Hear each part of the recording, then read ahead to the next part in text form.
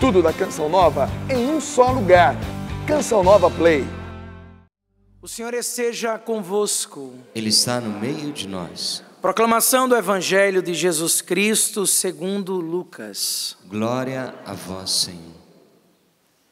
Naquele tempo, enquanto Jesus falava, um fariseu convidou-o para jantar com ele. Jesus entrou e pôs-se à mesa. O fariseu ficou admirado ao ver que Jesus não tivesse lavado as mãos antes da refeição. O Senhor disse ao fariseu: Vós, fariseus, limpais o copo e o prato por fora, mas o vosso interior está cheio de roubos e maldades. Insensatos, aquele que fez o exterior não fez também o interior? Antes, dai esmola do que vós possuís e tudo ficará puro para vós. Palavra da salvação. Glória a vós, Senhor. Pode aplaudir a palavra do Senhor. Salmo. Senhor, que desça sobre mim a vossa graça. Senhor, que desça sobre mim a vossa graça. Senhor, que desça sobre mim a vossa graça. E como nós somos necessitados, como nós precisamos isso mesmo de pedir essa graça diariamente em nossa vida, porque somente com a graça de Deus. Nós olhamos hoje a liturgia e nós podemos enxergar isso. Se não for pela graça de Deus e com a graça de Deus, nós não vamos conseguir. É somente na graça de Deus. Essa graça tem que, tem que ser renovada diariamente, em meio a tudo que nós vivemos, situações diversas, em meio às dificuldades, em meio às tribulações. É na graça e é pela graça que nós vamos conseguir. Essa graça que nos liberta que nos libertou, que nos renova, que faz nova todas as coisas. A graça que nos deixa livres, livres para anunciar, livres para denunciar, livres para amar. A graça de Deus, que em Jesus Cristo se concretiza. Nós estamos na 28ª semana do tempo comum. Já passamos aí na metade do mês de outubro, hoje já 16. A liturgia hoje dá para nós alguns ensinamentos. Primeiramente, ele vem reforçar que nós não somos escravos, é para a liberdade que Cristo nos libertou. Quanto a nós, que nos deixamos conduzir pelo Espírito, é da fé que aguardamos a justificação, objeto da nossa esperança, diz a primeira leitura. Com efeito, em Jesus Cristo, o que vale é a fé agindo pela caridade. Observando ou não a circuncisão não tem valor algum. A fé pela caridade. Eu sempre faço essa análise quando a gente está vivendo a Semana Santa, né? Que nós fazemos aquela quaresma toda, os nossos jejum, as nossas penitências. E aí a gente vê aquelas pessoas que não têm alimento, que estão pelas ruas. Uma pessoa dessa ela não tem jamais necessidade de fazer. Nós vamos fazer as nossas penitências, o nosso jejum, e nós vamos dar aquele alimento, aquela, o algo a mais para uma pessoa. Aquela pessoa já vive tantas situações. Deus conhece o nosso coração. Quando o Tiago cantava a música de entrada, pedindo que nós temos as mãos limpas e um coração puro, é a necessidade maior. Deus vê o coração, não é a nossa aparência. Nós podemos até nos enganar entre nós, mas Deus sonda o nosso coração e conhece a nossa verdade. Por isso que é preciso ter um coração puro. deixar as aparências de lado. Claro que nós temos que estar preparados, apresentados, mas eu aprendi aqui na canção nova que há algo muito concreto. Padre Jonas nos ensina muito bem. O exterior reflete o interior, é isso mesmo. Quando o nosso exterior está organizado, o nosso interior também. Mas o importante é o interior, é o coração puro. Um coração que busca servir, um coração que busca amar, um coração que consegue perdoar, que sabe o valor do perdão. Aquele fariseu ficou indignado porque Jesus sentou à mesa e não cumpriu preceitos. E Jesus foi forte: Vós, fariseus, limpais o copo, o prato, mas o vosso interior está cheio de roubos e maldades. É preciso ver o interior, o nosso coração.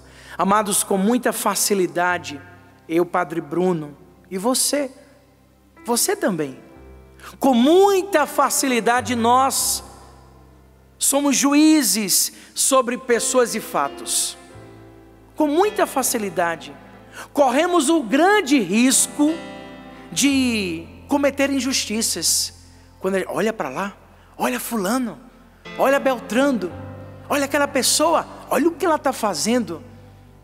E a gente não olha o contexto, não conhece o que a pessoa está vivendo não sabe o que ela está passando. Quem sou eu? Quem é você? Quem somos nós para julgar, para apontar? O que nós precisamos é amar, exortar no amor, praticar, testemunhar na nossa vida, mostrar Cristo vivo e ressuscitado. Eu cheguei ontem do meu período de descanso, fiquei em família, Fui para várias cidades lançar o livro Lutar Sempre, Desistir Jamais. Vivi experiências maravilhosas, mas para onde eu fui? Eu fui em missão, levando o Senhor. Inclusive que uma pessoa encontrou, me encontrou na praia e falou assim: Eu não sabia que padre tirava férias. Eu disse: Oxê, você está nesse mundo? Que planeta você vive? Padre é gente, tem férias, tem direito, como tem deveres. Mas seja numa praia, seja no altar, aonde for, eu tenho uma missão e essa missão precisa ser cumprida. Você tem uma missão e ela precisa ser cumprida. Nós temos uma missão e ela precisa ser bem cumprida. E a nossa missão é amar, cuidar, zelar com caridade, anunciar, proclamar Jesus e isso só vai acontecer se este Salmo 118 for bem vivenciado em nossa vida, porque só com a graça de Deus. Porque senão nós vamos ser escravos deste mundo, escravo dos prazeres. Neste tempo onde nós vivemos do ter, do poder, porque eu preciso, eu preciso, eu preciso, e aí as coisas vão acontecer. O que nós precisamos é de Deus nós não podemos perder a esperança, o nosso foco é Jesus, viver a cada dia como se fosse o último da nossa vida. Hoje, dia 16, eu celebro 10 anos e 10 meses. Daqui a dois meses eu faço 11 anos de padre. Quero viver intensamente, a missa que eu tenho é hoje. Essa missa eu preciso dar tudo de mim. Nós precisamos viver assim. Jesus está voltando e ele vai voltar. Então não vamos deixar os julgamentos, aquilo que os achismos, porque a gente tem um tal de eu acho. Ah, não, eu acho que fulano. Eu acho. Nós não somos achólogos. Ninguém acha nada. É viver a palavra, viver a caridade Fazei o bem e praticai a caridade e alcançareis misericórdia. Eu não estou dizendo para sermos omissos, jamais. É preciso que nós falemos a verdade, porque a verdade nos libertará, mas a verdade com caridade. Antes de apontarmos, vamos fazer a nossa autoavaliação, olhar o nosso coração e pedir essa graça de um coração manso e humilde, um coração puro, um coração que consegue enxergar o bem mais precioso do outro.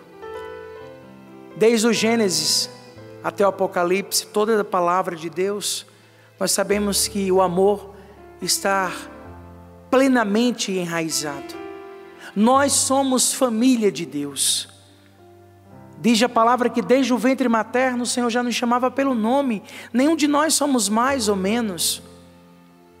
O que estamos vivendo corresponde às nossas decisões. Então vamos pedir a graça de decisões acertadas. Estarmos atentos aos fatos.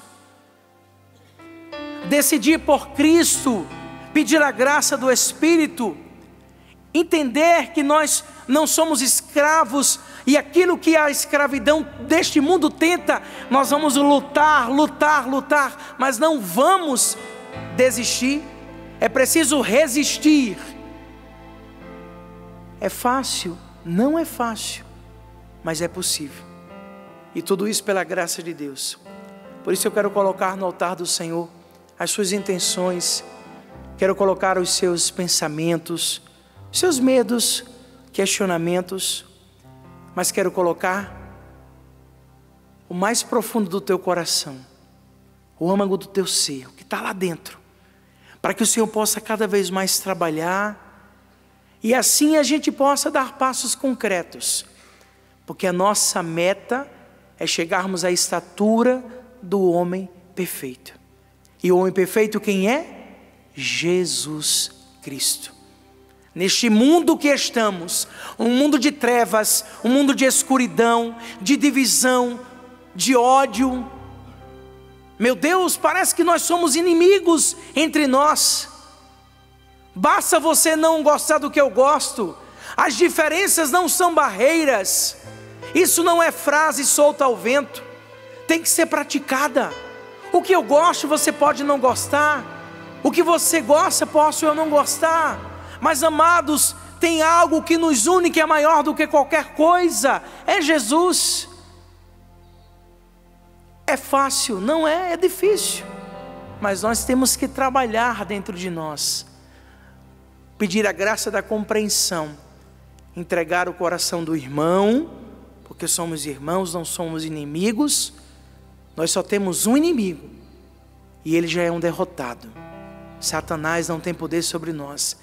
E Ele não vai nos escravizar em nome de Jesus novamente. E a palavra fala.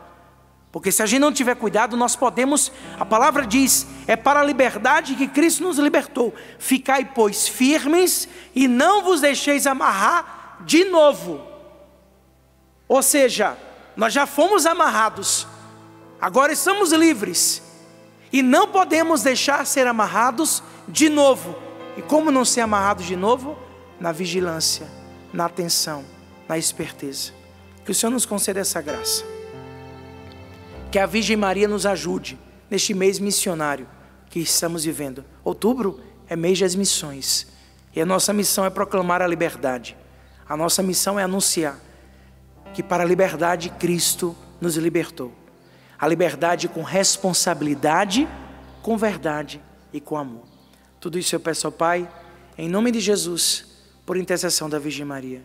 Nos voltemos para Nossa Senhora e peçamos essa graça rezando: Ave Maria, cheia de graça, o Senhor é convosco. Bendita sois vós entre as mulheres, bendito é o fruto do vosso ventre, Jesus. Santa Maria, Mãe de Deus, rogai por nós, pecadores, agora e na hora de nossa morte. Amém. Louvado seja nosso Senhor Jesus Cristo. Tudo da Canção Nova em um só lugar. Canção Nova Play.